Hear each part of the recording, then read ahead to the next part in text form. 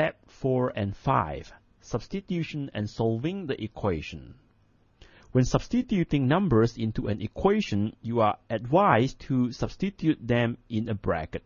This may avoid some confusion caused by the mathematical symbols such as negative and square. Let's look at this example. If we substitute all the values into the equation without bracket, the displacement is equal to 34 over 20, which is not correct.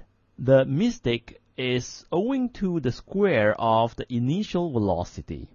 If we repeat the calculation by using bracket, we will find that the displacement is 16 over 20, which is the correct answer because the square of the initial velocity is calculated correctly.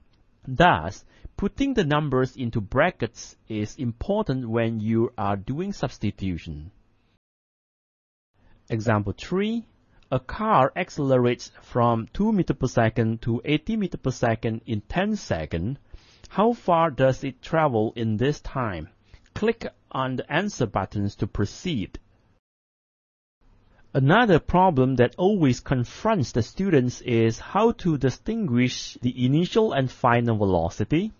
Both of them have same unit. How do we know which one is initial and which one is final? Frankly speaking, I don't have a good solution for this problem. The only suggestion that I can give is draw two points on a piece of paper and then ask yourself at what velocity it start and at what velocity it end. In this case, the car started at 2 meter per second and ended at 18 meter per second. Time taken is 10 seconds and we need to find the displacement. This is the information that we have. We can see that acceleration is absent in the list. Therefore, we choose the equation s equals to 1 over 2 u plus vt. Copy the equation. Substitute all the numbers into the equation. Solve the equation.